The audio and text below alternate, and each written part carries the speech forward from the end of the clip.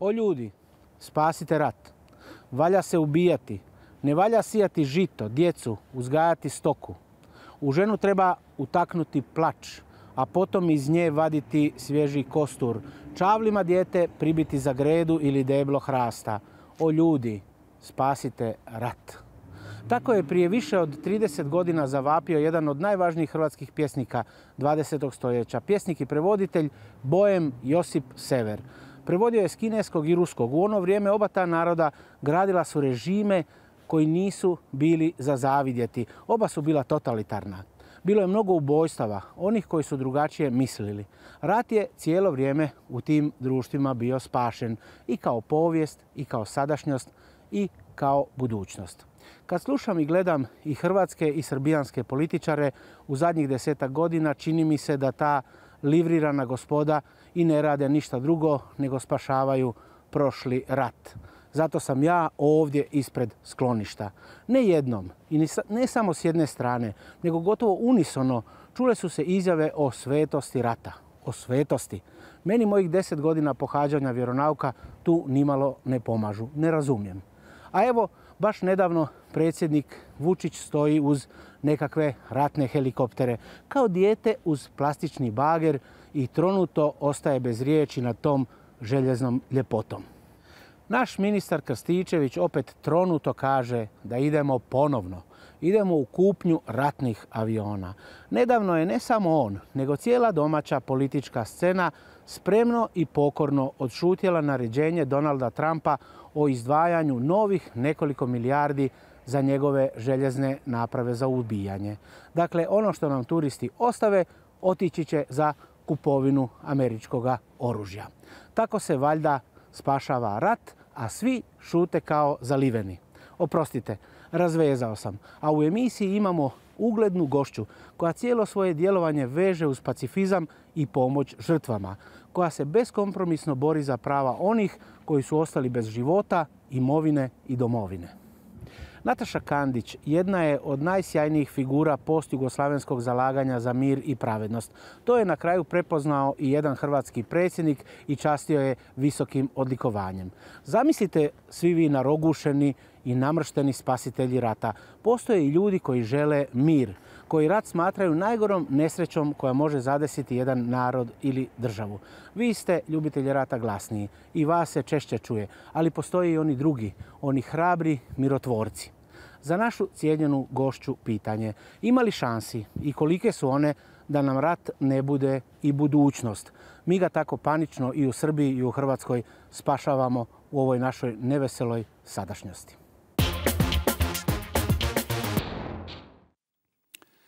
Dobar dan, poštovani gledatelji. Vidjeli ste uvodno u emisiji. Danas je s nama Nataša Kandić, direktorica fonda za human...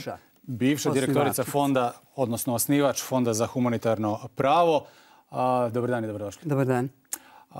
Kolega Prtenjača kaže ima li šanse u budućnosti da se nekako sačuvamo od tog rata, odnosno da, da ga ne spašavamo kao do sada?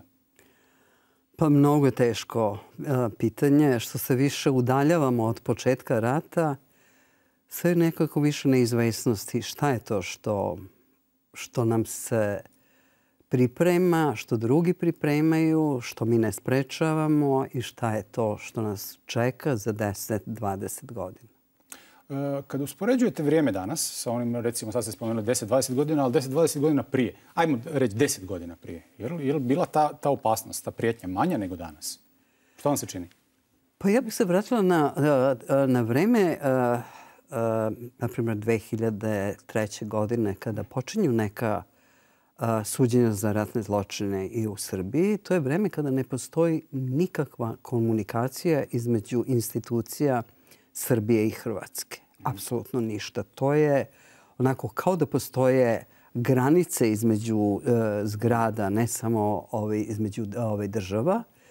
I tada pod pritiskom međunarodne zajednice, a i e, u vezi sa promenama u Srbiji, dolazi taj trenutak, počinje, počinju pripreme za procesuiranje ratnih zločina i počinju pripreme, eto, prvo suđenje ovčara. Ali problem je u tome da nema nikakve komunikacije, da e, nema nikakvog stava iz Hrvatske i kako zapravo pripremiti i dokaze, osim onih koje je dostavilo Haško tužilaštvo, kako doći do svedoka. I sećam se tada, e, tada je e, uloga civilnog društva, Fonda za humanitarno pravo, bila vrlo važna jer smo mi bili jedini koji smo slobodno prolazili granice, komunicirali i sa institucijama i sa ministrima država u regionu.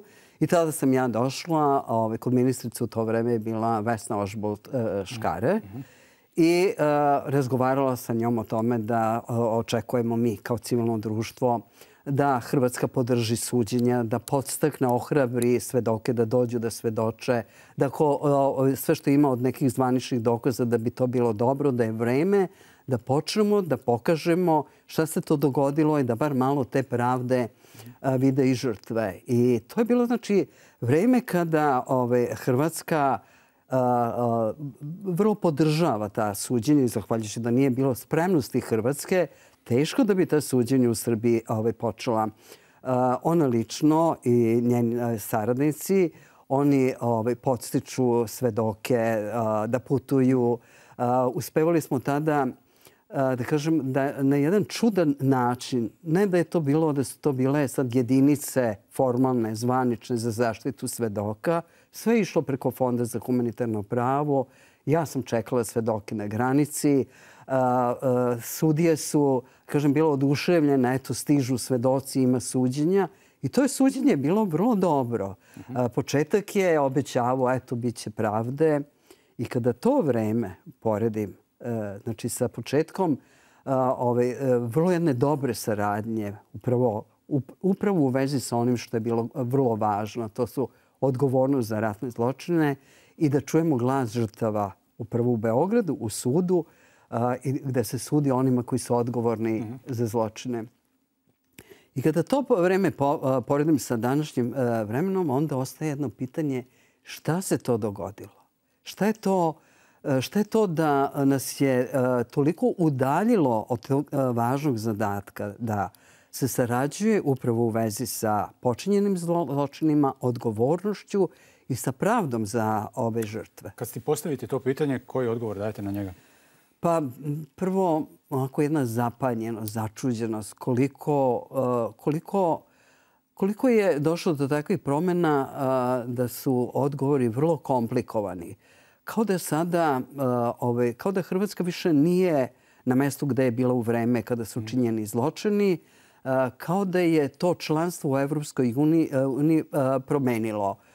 Sve da kao da je pravda za hrvatske žrtve postignuta i da više nema potrebe ni sa tom nekakvom ne baš voljnom e, Srbijom da procesuira ratne zločine. Nema više e, nikakve potrebe, nego je dovoljno samo je reći da ona ovaj, ne zaslužuje, nema, nije dovoljno uradila i e, zapravo i ne treba da bude u toj Evropskoj uniji.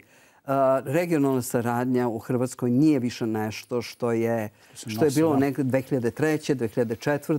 2005. pa kada je bilo početak suđenja za Lovasa, to, Lovas, to više ne postoji. Regionalna saradnja se više doživljava kao, neka, kao ne, ne, neko neprijateljstvo, a ne više kao jedna potreba prema onima kojih više nema, prema buduć, budućim generacijama, moramo da ostavimo neko nasljeđe kao što je Hag ostavio za uvek nama nasljeđe. A, mislite li da je neka ruka, neću reći pomirenja, ali prijateljstva, to što sam vas ja malo prije emisije iznenadio s podatkom da će sutra na Međunarodni forum za tranzicijsku pravdu u postjugoslavijskim zemljama pod nazivom da žrtve žive u pamćenju društva, doći i predstavnici Hrvatske vlade. Vi ih niste očekivali, ja sam jučer doznao, odnosno mi kao eh, emisija smo doznali da će poslati dvoje ljudi ovaj, da budu u ime Hrvatske eh, vlade. Na... Pa upravo to što kažete, to i pokazuje kakav je odnos. Ovo je najveći regionalni skup civilnog društva. Hrvatska preuzima predsjedavanje Evropskom unijom u januaru. Eh, vrlo je važno da se znači, uoči tog tako velikog događaja da Hrvatska pokaže E, šta je to što će biti njeni prioriteti, e, mir u odnosu e, u odnosu na proširenje Evropske unije, u odnosu na susede u regiji. Šta je to što je, što je bitno da, da se čuje na ovom regionalnom skupu? Mi nismo dobili ni jednu povratnu informaciju. Uputili smo poziv uredu e, Gordana Markotića. Očekivali smo da dobijemo odgovor i to je bez odgovora. Onda smo uputili još nekoliko poziva i Ministarstvo spoljnih poslova. Nema odgovora. To je potpuno onako jedno jedno, da kažem, neprijatno mi da kažem, ali nije baš prirodno da predstavnici institucija, države, tako imaju jedan ignorantski odnos prema civilnom društvu, prema tako jednom velikom skupu kao što je taj regionalni skup. To znači, mi za njih ništa nismo. Upravo taj, da kažem, taj jedan ove karakteristika da je u pitanju regionalni skup, možda još više izaziva to jedno, da kažem, njihov, ovaj, e, njihov odnos da to potpuno se ignoriše. Znači, nismo obavešteni do dan danas i ono što bih ja očekivala, to je znači da pošalju službenike koji će prisustovati, a ne učestvovati i reći nam ono što je bitno. Šta je to što je, će biti e, važno, prioritet u, o, za tih šest meseci predsjedavanja Republike Hrvatske? Eto, e, možda ni ovaj odgovor ne, ne bismo imali da ih e, nismo e, još od negdje od srijede ovaj, inzistirali na, na, na tom odgovoru, ali ja se nadam da će se sutra, barem na samoj konferenciji, razjasniti o čemu se radi. A recite nam uvodno, što je to rekom? Zašto ste pokrenuli inicijativu za osnivanje regionalne komisije za utvrđivanje činjenica o ratnim žrtvama? Gledatelji, vjerojatno većina gledatelja u Hrvatskoj ni ne zna o čemu se radi. Možete ovdje ispričati. Pa, mi smo 2006. godine e, desetak e, nevladinih organizacija iz cele regije e, vrlo ozbiljno razmatrali šta se dobija u odnosu na vladavinu prava, u odnosu na pravdu za žrtve, suđenjima za ratne zločine, šta tu nedostaje i šta bi trebalo zapravo još biti od nekih instrumenta koji mm. mogu da doprinesu da se dođe do jedne sveobuhvatne slike o tome što se dogodilo. I organizovali smo jedan veliki skup sa oko 400 predstavnika raznih e, organizacija civilnog društva. Uključili smo i pravnike, istoričare i udruge žrtava. I dobili smo jedan rezultat koji je bio definitivno jasan. Da se zapravo ta slika o tome što se dogodilo može dobiti samo uh, zajedničkim radom institucija i civilnog društva. I znači od tada mi se zalažemo za taj regionalni pristup u suočavanju sa prošlošću i ono što je također, vidite, mi sutra održavamo 12. ovaj forum, ono što je svih tih godina u debatama iskristalisano, to je da nema prečeg zadatka nego da znamo imena svih onih koji su izgubili život i koji su još uvek na listama raznih e, nestali, da znamo okolnostima u kojima su stradali, izgubili život ili okolnosti u kojima su nestali i da, e, da to bude neko naše nasleđe e, prema budućim generacijama, ali da taj zvan, zajednički rad mora da bude zajednički rad državnih institucija, a da mi kao organizacije civilnog društva pomognemo našim stručnim kapacitetima, zato što imamo već godima nama sprovodimo to empirijsko istraživanje na terenu, mm. dokumentovanje žrtava. Ne obeshrabruje li vas to što taj proces već traje 13 godina? pa, znate šta... I nema velikih pomaka. Ovaj, pa povremeno je bilo velikih pomaka. Povremeno nam se činilo da smo uspeli da ubedimo političare da je to njihov zadatak, da ćemo im mi pomoći, da, ali da mi ne možemo da ih zamenimo. I mislili smo da to upravo kad kažemo da mi ne možemo da ih zamenimo, da to njima pokazuje koliko je zapravo važna njihova uloga u odnosu na žrtve, koliko je važno da institucije države naprave to javno priznanje. 2014. nam se činilo da smo blizu tog jednog, da kažem, važnog rešenja da države preuzmu taj proces osnivanja regionalne komisije i da sve ono što imaju prikupljeno, sve što imaju e, dokumentovano, da to e, e, sakupe i da zajedno ovaj, dođu do toga i da na taj način obezbede jedno regionalno priznanje žrtava. E, dakle, regionalno priznanje. Rezerve koje se pojavljuju u Hrvatskoj prema vašoj inicijativi otprilike bi se mogle svesti pod ovo da bi Hrvatska izgubila nadležnost nad utvrđivanjem činjenica o žrtvama rata a kada bi e, Rekom u Hrvatskoj zaživio. Pa mislim da tu uopšte nema ni jednog argumenta za to zašto. E, Haški tribunal je do sada utvrdio identitet oko 14.000 žrtava ratnih zločina. Haški tribunal se nije bavio pripadnicima oružanih e, formacija, vojske, policije ili dobrovoljaca, dragovoljaca. Time smo se bavili mi i razne udruge i branitelja i udruge e, veterana.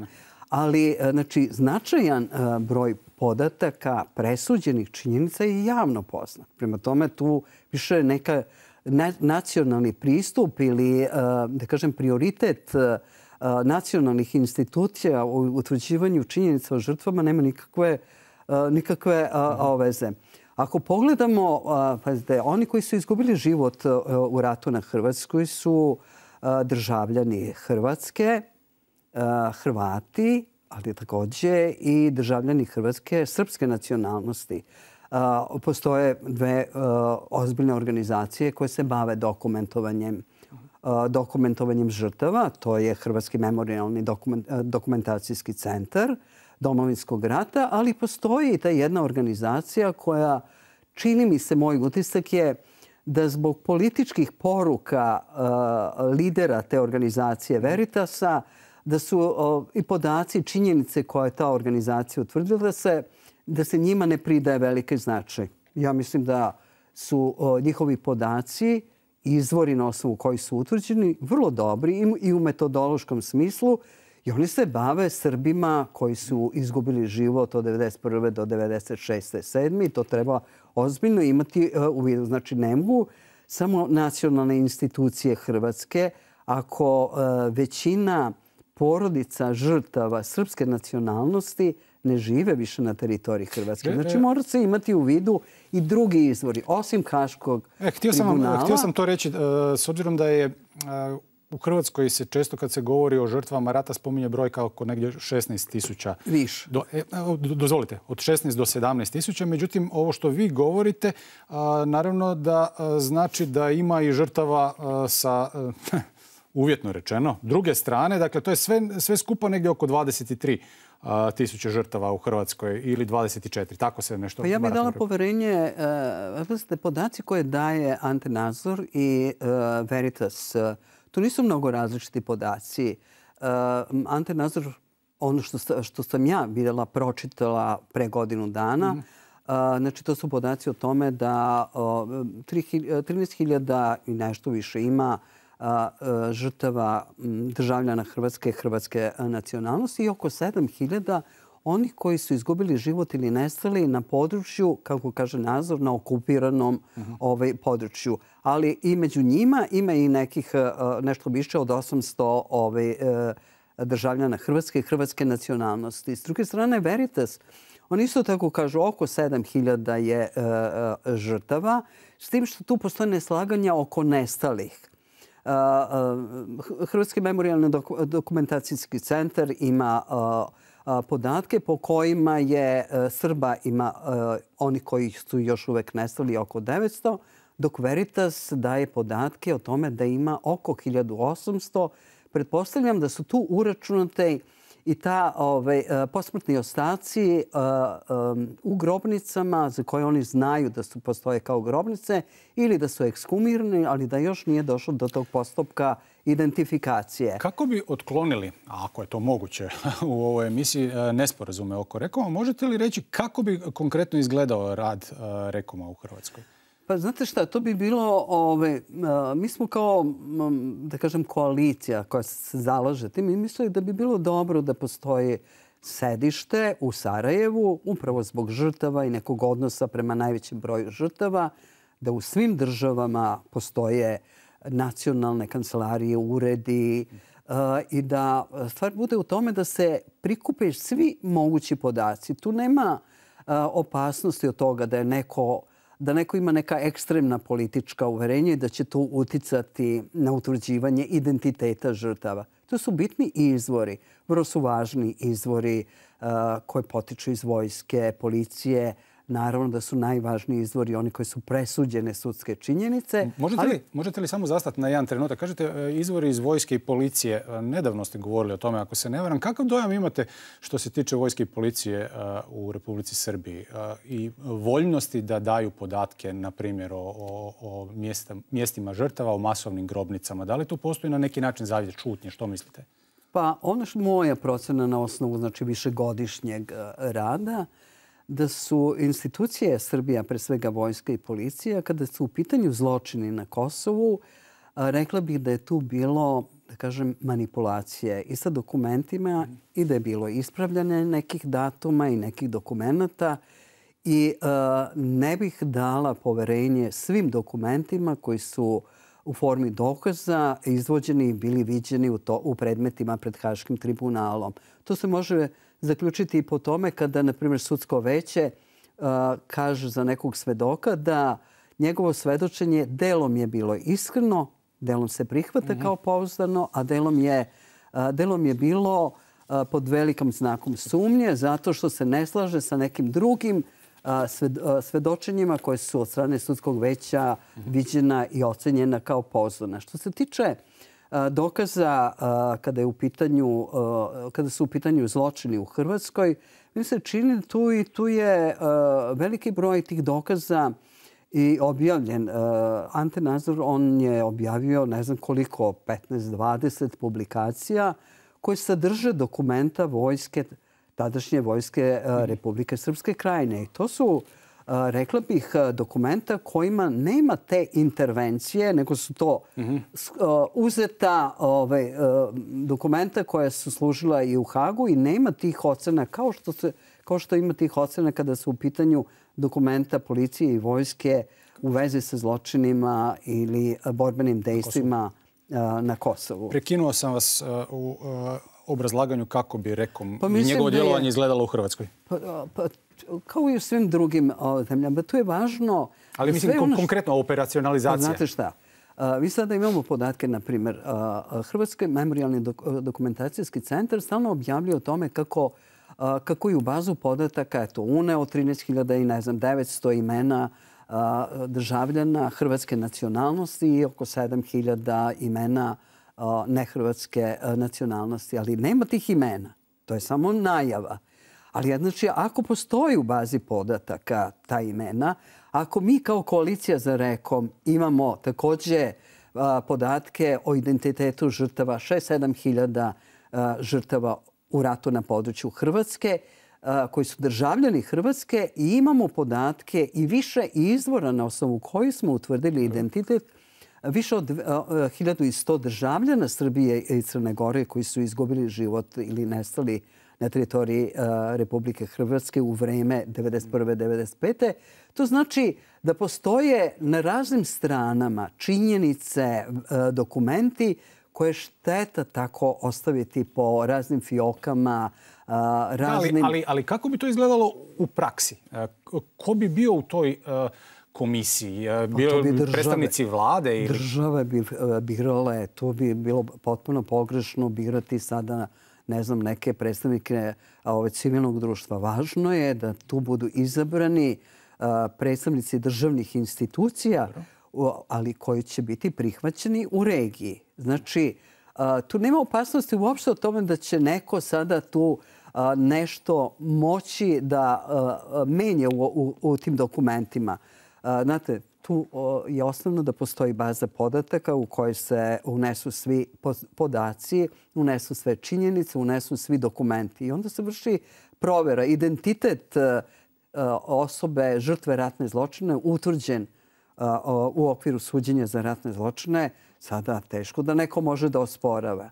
I zapravo, iako pokušamo da se setimo, imali primjera osporavanja identiteta žrtava ratnih zločina, nema. Nijedna država nije osporavala kada Haški tribunal ili bilo koji sud utvrdi da je određena osoba žrtva ratnog zločina, ali ima osporavanja pravnih odluka. Ali u ovom slučaju sve se odnosi na žrtve, da se utvrdi identitet, da znamo ime i prezime da znamo okolnosti u kojima je stradalo. Kako bi ti predstavnici vlade u toj komisiji e, povezivali na neki način Baza podataka sve vas i recimo Antu Nazora da razmijenite te baze podataka? Kako pa bi to izgledalo? To je osnovi dogovor. Kao što Ante Nazor ima bazu podataka Fond za humanitarno pravo, ja mislim da mi imamo najkompletniju bazu podataka kada su u pitanju žrtve ne samo ratnih zločina, nego ukupne žrtve na Kosovu. Onda imamo potpune podatke o svim stradalim, odnosno ubijenim i nestalim državljanima Srbije i Crne Gore na području, na području Hrvatske. Isto tako državljani Srbije i Crne Gore stradali u ratu na području Bosne i Hercegovine.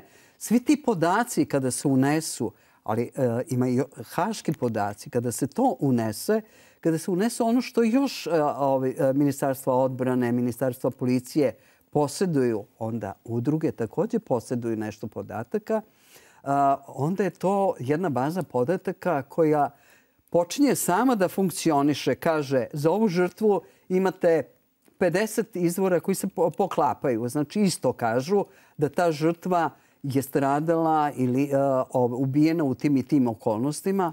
Tu onda nema dileme da li će biti prihvaćeno ili ne. Ali ako ima prijavljenih žrtava u raznim evidencijama, a nedovoljno izvora ili izvori koji su ove, protivrečni, koji jedni drugom ove, ne, ne slažu se, onda tu dolazi do provere, e, e, znači do metodološke provere. Proveravaju se izvori.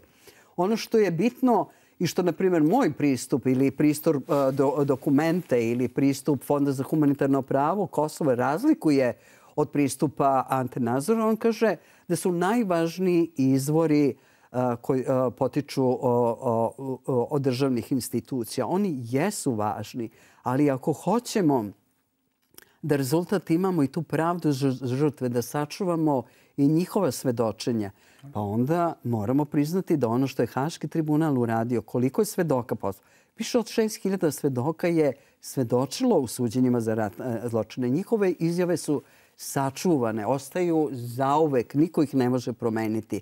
Pa zar, onda, zar onda nije dobro što dokumenta i što Fond za humanitarno pravo uh, uzimaju izjave na terenu i pokušavaju da i tim izjavama i utvrđenim činjenicama ovaj, na, na terenu da se utiče na izgradnju tog sećanja o tome što se dogodilo. Rekom već postoji 13 e, godina. Što vi koalicija. Kao, koalicija, rekom tako. E, što vi kao bivša direktorica e, Fonda za humanitarno pravo kažete na optužbe koje su stigle na vaš račun da u stvari ljudi koji su neko vrijeme bili u toj koaliciji pa su izašli, da ste vi da iz tog projekta u stvari izvlačite samo nekakva materijalna prava i da oni više ne žele sudjelovati pa, u tome? Pa znate, ovo, to je tako mali broj kad pogledamo šta su ti koji su izašli iz koalicije uradili, a kad pogledamo šta smo mi koji se bavimo istraživanjem uradili, onda je to dovoljno jasno i nema prostora uopšte za bilo, za bilo kakav razgovor. Nema, da kažem, ni jedne... Ko financira, rekom?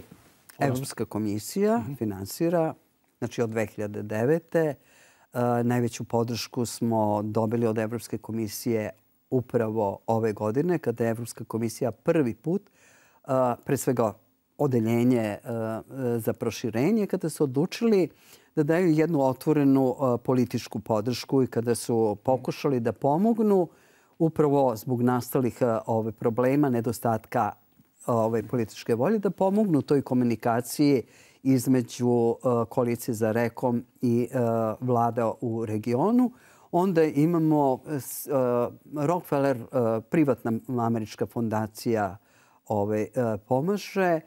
I uglavnom to su, to, to su ranije smo imali da je Norveške fondacije su pomagale, a sada čini nam se da je uh, da je e, trenutak kada Evropska komisija treba da odluči da li je to projekat koji zbilja e, treba da bude podržan i na način e, kada prete tako velike opasnosti da države nisu voljne da one preuzmu taj proces, da se proceni koliko je važno znati ko su ljudi, kako se zovu ti ljudi u okviru tog ukupnog broja 130.000 žrtava. Da taj proces, popis, bude do kraja ove, sproveden u roku od, da kažem, 3-4 godine, da se uključe akademske institucije, a da onda, kada bude gotov taj popis, da ponovo ponudimo državama i kažemo uzmite ovo, proverite. Mhm. Ako nešto nije u redu, dajte, ispravite, ali vaš zadatak je da priznate sve te žrtve. A, koliko sam shvatio, e, vi ste sada na nekoj prijelomnici. Da li, uh... Mi ćemo nastaviti sa tim uh dokumentovanjem. Imamo stručnih kapaciteta, ali uh, jeste nas jako pogodilo ovo što ovaj, uh, Hrvatska od lidera, pazite, do 2015. Hrvatska je bila lider u tom, da kažem, procesu uh, pomirenja ili suočavanja sa prošlošću u regionu. To nije bilo ovaj, beznačajno. To je bila glavna snaga. I zamislite danas i kada poredim taj period sa podrškom Hrvatske, podrškom suđenjima za ratne zločine i ovu današnju situaciju, ja nemam baš odgovor i nema argumenta argumenta koje koristi država i ono što ste vi naveli kao hrvatske institucije će se baviti žrtvama u ratu u Hrvatskoj. Pa te žrtve nisu samo žrtve Hrvatske. Ipak je postojala neka zajednička žrtva. To su naše žrtve. Mi smo, samo ću da vas podsjetim na jednu, i to sam, ove, nekako mi je o, to jako drago što smo zapravo tu ideju o imenovanju žrtava imali još i 1991. godine. Mi u Beogradu smo od oktobra, 8. oktobra 1991. do 8. februara 1992. godine svake večeri od pola devet do devet ispred predsjedništva Srbije čitali imena ljudi koji su poginuli, izgubili život u ratu na teritoriji Hrvatske. Na razne načine smo dolazili do imena, čitali ta imena i govorili stalno koliko je važno da zapravo tu u Beogradu mi kao kritičari ratne politike Srbije izgovaramo upravo tu ispred predsjedništva imena. Koliko I, je to... Znači, to se do danas održalo. Za nas su imena žrtava najbitnija. Koliko je sad, kad spominjete uh, Beograd ratnih 90-ih, koliko je to bilo nešto što je dominiralo ili s druge strane nešto što je u kolektivnom sjećanju u Hrvatskoj ostalo kao e, situacija gdje se na vojna vozila koja idu mimohodom u Beogradu na Vukovar baca cvijeće. Dakle, želim vas pitati, živjeli ste tamo, koliko je bilo više ovih drugih koji su podržavali rat u tom trenutku? Pa bilo je bilo je mnogo, mnogo više uh, onih koji su podržavali, koji su govorili o ugroženosti srpskog naroda ali e, nije beznačajno i kada se došlo e, do nekih novih situacija, e, kada je e, na suđenjima e, u Ovčari ili e, na suđenjima pripadnicima Škorpiona, kada je bilo svedoka pripadnika raznih radikalskih paravojnih formacija koji su govorili da su slušali Šešelja, bili oduševljeni njegovim govorom i odlazili da brane navodno srpski narod u Hrvatskoj, odlazili u Vukovar, a onda kada su dolazili tamo, vrlo su brzo uvideli da se tamo ne radi o zapravo o ugroženosti srpskog naroda, nego da se radi o, da kažem, o jednoj propagandi, a da je na terenu nešto drugo, pa su govorili o Vućinu, pa su govorili o raznim drugim stvarima. Pa smo onda slušali, imali prilike čak da čujemo Srbe koji su bili uh, o mesecima uh, da kažem, u podrumima, kada je bilo neke suđenje u Belom manastiru još u vreme rata, kada su oni govorili, pa čekajte, vi sudite mom komši, ali on, da nije bilo njega, mi bismo, ne bismo imali šta da jedemo. On je uh, bio naš vojnik, uh, on nam je pomogao, bez njega ne bismo, uh, ne bismo izdržali, ne bismo opstali. Kako je vaše sjećanje na Vukovar 1992. prosinac kada ste ušli? Ja, to je bilo, bilo nešto strašno tada po drugi put sam u toj delegaciji Human Rights Watcha. Prvi put smo obilazili zatvore u kojima su uh, bili Hrvati.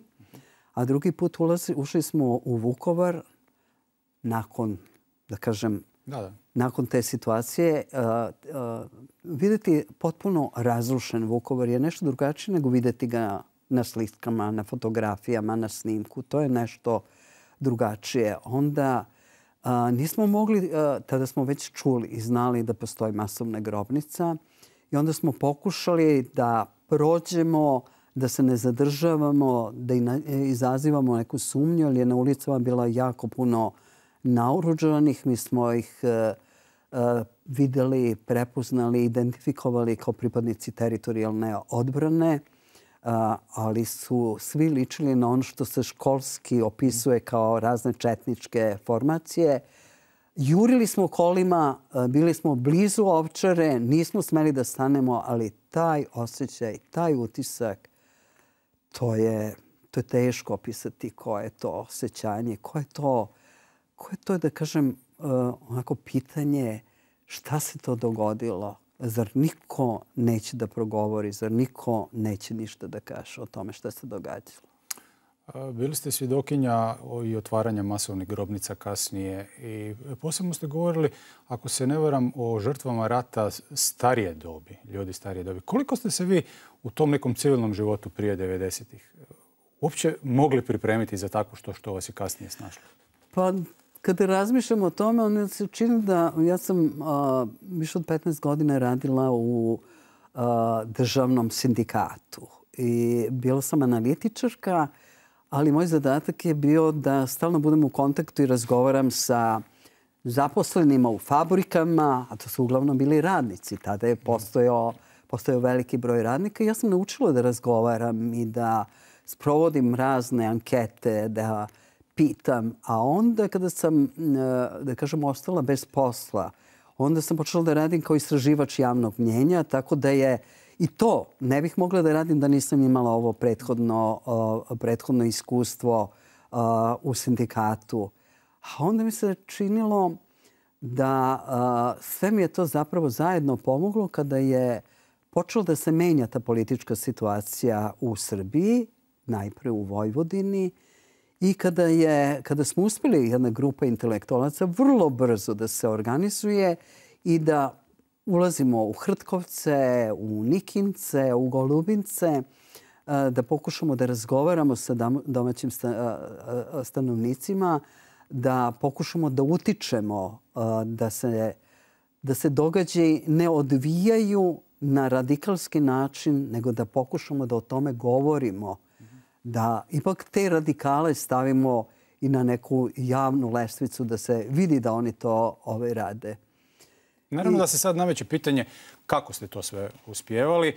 Vi ne volite da se govori o vama kao nekoj e, žrtvi. Počekajte, ali tu je bilo, za mene je bilo uh, strašno važno, na primjer u Hrtkovcima, što je bilo domaćih Srba, što su uh, oni uh, sa svojim komšima Hrvatima nisu ih pustili onako. O tome se vrlo malo zna, ali za mene su oni bili, to je bilo za mene, da kažem, neviđeno važno da vidim da ima, pazite, neki Aleksa Ejić, on je prvo godinama bio zaštićeni svedok u Hagu. A onda je jednom odlučio i rekao, neću tu zaštitu. Značajnije je, kažu, u selu svi znaju da sam to ja, zašto da se onda moje ime ne zna. I mislim da je, pa pazite, on je toliko važan, važniji nego svi mi koji smo odlazili u Hrtkovce. Ne, ne, ali jasno je meni to. Međutim, mi koji nismo e, živjeli u Srbiji u to doba, nekako Srbiju doživljavamo kroz, ne znam, Markana, kroz nestašice benzina, kroz vidimo se učitelji dokumentarca koji smo gledali kako je situacija izgledala, kako se lako glava gubila. I sad je tamo neka Nataša Kandić i još desetak e, e, drugih ljudi koji se zauzimaju za žrtve, odnosno za mir. Kako nosite, neki su izgubili glavu, ali mislim, kako nosite glavu na ramenima u takvoj situaciji? To sam vas htio pitati. Pa, to je sve stvari izbora. Ako neko kao ja i neki drugi odlučimo da se bavimo ljudskim pravima, ratnim zločinima, onda i to nošenje glave i to sve, sve tu ide u stoj. To nije ništa posebno, ni nešto, neka velika hrabrost. To je deo tog posla. Je to... Kolegice Maja Sever, u vama je, odnosno u vašem djelovanju i radu je napravila prilog od šest minuta. Malo ćemo predahnuti, nakon toga se ovaj, vraćamo u studiju. Gospođi Jeleni Baketi jedan je sin poginuo kod tovarnika na početku rata. Kad je bio napad na tovarnik, žene i djeca su bježali preko njiva u Lovas. I onda su naši išli i kupili djecu i žene i, i vozili u Lovas. Kad je to bilo, kojeg datuma? To je bilo 21.9.1991. Jednu je turu dovezo i vratio se natrag i jedan iz tovarnika je bio s njim u kolima i on je poginio, ovaj drugi je bio ranjen, e, ostao je bez noge i bez oka. Njega sam našla u Zagrebu u bolnici pa mi je ispričao i tako da smo ga uspjeli saraniti. Drugog sina nije sahranila. I dalje se vodi kao nestali. Borio se u Vukovaru, sve je učinila da ga pronađe. Sudjelovala je na suđenjima u Beogradu, i za Vukovar, i za zločine u Lovasu. Tada joj je pomagala Nataša Kandić. Nataša je jako dobra osoba bila i puno nam je pomagala i dolazili su po nas kad je bilo za ovčaru suđenje. Onda smo tamo u hotelu i noćivali od eh, ponedeljk nas odvezu, u petak nas vrate natrag. Obitelji hrvatskih žrtava ratnih zločina dobro znaju tko je Nataša Kandić. S kolegama iz Fonda za humanitarno pravo pomagala je i zastupala ih pred sudovima u Srbiji. Nije bila sad da nekoga mrzi, pa sad sa ovim dobra, sa onim nije. Sve je jednako pričala. Recite istinu što znate, niko vam ništa neće. Potraga za istinom motivirala je Natašu Kandić. Završila je sociologiju i onda su se u bivšoj državi počeli nazirati problemi. Ono što sam ja odlučila od 90. E, godine, to je da se e, bavim dokumentovanjem. Najpre pročeo sa Kosovom, zato što jeste pre 90. godina najteža situacija bila e, na Kosovu. Kršenje ljudskih prava je bilo uh, najizrazitije. S ratom i ubijanjima zbog nacionalne pripadnosti susrela se 1991. U delegaciji Human Rights Watcha posećujemo zatvore na prostoru tadašnje krajine. U zatvorima su Hrvati. Kada mi pokušavamo da dođemo do što više informacija o tome šta se događa, i to iskustvo odredilo je što će dalje. 92. osniva Fond za humanitarno pravo, nevladinu organizaciju za prikupljanje podataka o zločinima. Da se ne dogodi kao za vreme drugog svetskog rata i posle toga da ništa ne postoji na ovim prostorima, nego je sve uh, u nekim institucijama, telima, komisijama uh, raznih drugih država, a ne i na ovom prostoru. Organizirala je prosvjede protiv rata. Šest mjeseci okupljali su se ispred predsjedništva Srbije. I tada smo počeli svake večeri od pola devet do devet da čitamo, izgovaramo imena oni koji su poginuli na području ove Hrvatske. Dolazili smo raznim putevima, načinima do imena i onda smo svake večeri znači, čitali ta imena. U to vrijeme fond je i za novinare u Srbiji bio izvor informacija do kojih se nije moglo doći službenim kanalima. Te informacije koje ona iznosila zapravo jesu bile pouzdane, možda pouzdanije od zvaničnih informacija, zato što je ona radila na terenu sa svojim ljudima i e, pravila kako kažem, neku bazu koja je očigledno posle i služila u samom Haškom tribunalu za suđenje. Dakle, uloga Nateše Kandić u celom tom suočavanju sa ratnim zločinima je bila izuzetna. Od 1994. fond surađuje sa sudom u Hagu. Predali su dokumentaciju o zločinima nad muslimanima, o masovnim logorima u BiH, snimku na koje pripadnici jedinice Škorpioni ubijaju civile na području Srebrenice, koja je prikazana na suđenju Miloševiću, u Hag je dostavio Fond za humanitarno pravo. Hag se koristio i dokumentacijom fonda o akcijama Bljesak i Oluja. S radom nastavljaju i na Kosovu. Ona je prava braniteljica ljudskih prava i zapravo primjer e, svima u procesu postupne humanizacije e, odnosa prema mrtvima. E, I e, u ime svih nas zapravo gura naša društva e, prema tome da napokon e, shvatimo da je pijetet prema žrtvama jedini mogući pristup. 2006. pokreće proces da se napokon imenuju sve žrtve. Pokreće rekom. Da uh, konačno uh, ti brojevi budu brojevi žrtava budu zamenjeni imenima i otuda ono naše zalaganje da se osnuje jedna regionalna komisija međudržavna koje će da utvrde okolnosti pogibije, nestanka, stradanja svih žrtava.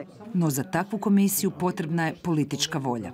Za rekom nikad nije bilo podrške u političkim e, strankama ni od strane vlade, ni od strane e, većeg dijela opozicije. Dakle, ja bih rekla da e, HDZ e, sustavno ne podržava inicijativu, e, a neki su članovi i članice e, SDP-a koji su inače potpisali da podržavaju inicijativu kad smo skupljali potpise i prikupili u postjugoslavenskim zemljama više od 500 tisuća potpisa. Čak i dobivali e, ukore, jer su potpisali, a nisu trebali. Natašu Kandić odlikovao je bivši predsjednik Mesić. Podršku inicijativi Rekom davao je Ivo Josipović. Danas Rekom ima potporu Europske komisije, mnogo veću nego na ovim prostorima. Na sutrašnjem forumu tranzicijske pravde okupit će se aktivisti za zaštitu ljudskih prava iz nekoliko zemalja. Svoj dolazak najavili su i predstavnici Hrvatske vlade.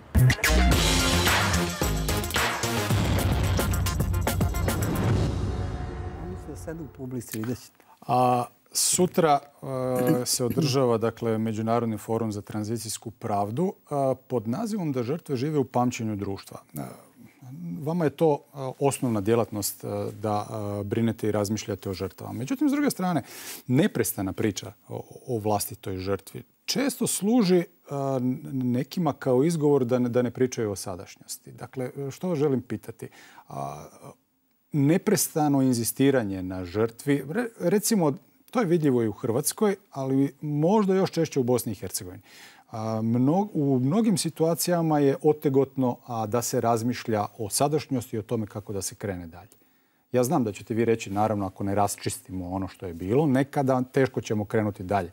Međutim, ta, ta pozicija žrtve često onima koji sudjeluju u tom procesu, koji su aktivni, ne govorim o vama, a, kao nekako da su izgradili, hm, teška je reč, e, riječ biznis, ali kao nekako samo o tome da govore, a ne o tome šta je danas i što će biti sutra. Pa delimično bih se složila sa vama, e, zato što mi imamo tu političku priču o, o žrtvama, o svojim žrtvama. E, imamo u Bosni, e, nosioci su, osim političara, i te vodeće e, e, udruge, mm -hmm lideri zapravo. A tu najmanje ima e, porodica žrtava, oni koji su očevici preživali strahote. Oni, oni su daleko i od lidera udruženja, daleko i od političara. Njihov glas se uopšte ne čuje. Njihov glas čujemo mi koji se bavimo dokumentovanjem. Mi razgovaramo sa njima, mi e, čuvamo njihove izjave, mi znamo šta oni kažu. To isto i u Srbiji. Mi čujemo glas lidera uh, uglavnom ekstremističkih e, političkih grupa i lidera e, udruga koji zapravo nikoga i ne okupljaju, ali govore u ime žrtava. To su, da kažem, da kažem političke ovaj, e, priče. Upravo oni štite te interese političkih partija koji se zapravo drže na vlasti na osnovu toga što će stalno da drže tu priču. Mi smo najveće žrtve, mi smo istorijske žrtve. Uh, oni uh, zaboravljaju koliko su nas stotinama hiljada ovaj, uh, ubili, niko mm -hmm. o tome. Oto da mi imamo, naprimjer, ja ću uzeti samo ovaj, Srbiju kao primer. U Srbiji se stalno na političkom tom nivou govori o hiljadama i hiljadama žrtava za vreme NATO bombardovanja u, od marta do juna 1999. godine. I to je Znate, percepcija javnosti ne može biti drugačija ako je svakodnevno, naročito u tom periodu od marta do juna se ponavlja ta brojka. Mi nemamo kao Fond za humanitarno pravo tu šansu da zapravo izađemo u mediji da stalno govorimo ili bar jednom eto, mesečno da govorimo o, o tome što smo mi istraživanjem utvrdili. Što ste utvrdili? 754 imena i to iz više izvora i to su oni koji su stradali u napadima NATO. Gotovo polovina je Albanaca, polovina Srba. Ali o tome ne može da se čuje a, u Srbiji. U, sa druge strane, na Kosovu ta priča o žrtvama o, od strane NATO je potpuno marginalizovana. Zato što je tamo percepcija javnosti da su to žrtve koje su doprinele pobedi, oslobađanju Kosova, od, da kažemo, od srpske agresije, od srpske dominacije. Sada ste mi ovdje, eto, pred krajem emisije došli na, na, na, na temu Srbija, stanje u Srbiji. Kako je danas stanje u Srbiji? A, možda ne samo i vizavi ovih ljudsko-pravaških tema, nego i inače. A, što vi mislite, recimo, a, Srbija na razmeđi između Evropske unije i Rusije, u kom smjeru će se stvar dalje razvijeti? Je opet mnogo teško ove pitanje. E, mi imamo opoziciju, ali e, ta opozicija, rekla bih da je više da je bliže Rusiji nego Evropskoj uniji. I to je naš veliki problem. Sa druge strane, imali smo uh, predsjednika Srbije, Tomislav Nikolić, koji je... Da, bio rusofil. Tako je. On je ostao kao neko ko, je, ko se bavi poslovima koji su vrlo uh, bliski Rusiji. Imamo uh, predsjednika danas, danas imamo predsjednika uh, Srbije, koji s jedne strane je vrlo blizak mm, liderima članica Evropske unije, kao što je Nemačka Angeli Merkel.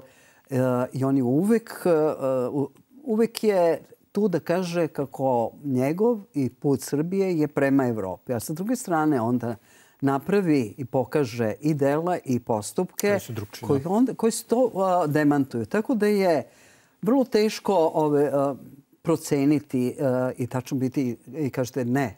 To što je sa Rusijom, to je ipak eh, ono nešto tanko. Ono što je eh, izvesno da predsjednik Srbije ovaj, hoće i da uradi, to je Evropa. Zapravo sve zavisi od toga kako će biti kakva je budućnost rešenja pitanja Kosova-Srbije? Da li će... Nama to izgleda kao gotova stvar, ono što se veli u diplomatskim rečnikom feta kompli. Međutim, ovaj, što... Vama, vama izgleda kao gotovo da, da će Vučić da tu... priznati... Ne, ne, to nisam rekao. Ne, nego nam izgleda kao gotova stvar da Kosovo više nije dio Srbije što je dominantna agenda u srpskoj politici ljudi koji su na vlasti, da će Kosovo, ako nije sad jednog dana biti. Pa čekajte, vi govorite o tome što je de facto da. Kosovo davno nije deo Srbije. Niko od političara Srbije ne može da ode na Kosovo bez dozvole institucija Kosova. Ali ono što je E, E, što je problem. Mi smo imali i, e, i posle 5. oktobra demokratsku vladu, ali Kosovo je bila zabranjena tema. Boris Tadić, e, on nije smeo čak ni da da podrži Rekom zato što je u toj ideji zagovara, zagovaranje osnivanja Rekom bilo i, da kažem, učestvovalo i Kosovo i Kosovsko civilno društvo i podržavalo je i kosovske institucije. Eh, ono što se danas eh, ovaj, eh, vidi, da mi imamo opoziciju koja apsolutno nije za priznanje. Oni napadaju Vučića, a sa druge strane Vučić jeste napravio nekoliko koraka koji su uh, unapredili taj odnos Kosova i Srbije. Prestala je sa njim, je prestala ta svakodnevna užasna retorika da su svi Albanci uh, teroristi, zločinci, uh, ali da li on uh, ima, da kažem, ne samo snage ili da li je on iskren u tome što on ovaj, uh, kaže u tim svojim razgovorima sa Angelom Merkel i drugom, da će on učiniti sve da dođe do normalizacije odnosa između Srbije i Kosova, to je drugo pitanje. Ponekad se čini uh, da on kad kaže, pa čekajte, ove, uh, pomirite se s tim, mi smo izgubili Kosovo. Onda to, onda svima nama kaže, pa da, evo, on kaže nešto što je tačno. A posle toga sledi pa prizmo, e, e, priznanje stvarnosti, onoga što je rea, neka realnost. A onda posle toga kaže, Srbija i ja nikada nećemo priznati. Kosovo. Tako da je pitanje uh, vrlo, te kažem, vrlo je, uh, izaziva uh, izaziva stalno jedno razmišljanje kuda to ide Srbija. Ne možete domisliti. Ne može se domisliti, a s druge strane nikad niko u Srbiji ne kaže da se vrati na prošlost. Pa prvo, Haški tribunal nije osnovan bez saglasnosti Rusije. Onda, ko je poslednju reč imao u Srbiji sa Slobodanom Miloševićem i ko je taj koji je uticao na Slobodana Miloševića da prihvati onakav sporazum i povlačenje svih, da kažem, i policije i vojske iz Kosova. Rusija. Hvala vam lijepa na gostovanju u emisiji. Često me Pitaju zašto ne zoveš ljude, nešto sam pričao i s vama o tome, zašto ne zoveš ljude iz aktualne srpske vlasti, ovaj, jednostavno ne da mi se. Ne da mi se razgovarati s ljudima koji već u Hrvatskoj moram razgovarati s ljudima koji su nacionalisti, a moram po prirodi posla, ne moram i, i s ljudima iz Srbije.